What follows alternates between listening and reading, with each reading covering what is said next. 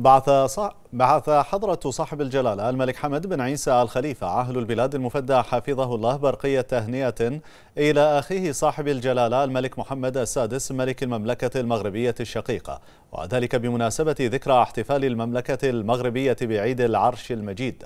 عرب جلالته أيده الله فيها عن أطيب تهانيه وتمنياته له بموفور الصحة والسعادة ولشعب المملكة المغربية الشقيق بالمزيد من التقدم والازدهار في ظل قيادة جلالته الحكيمة.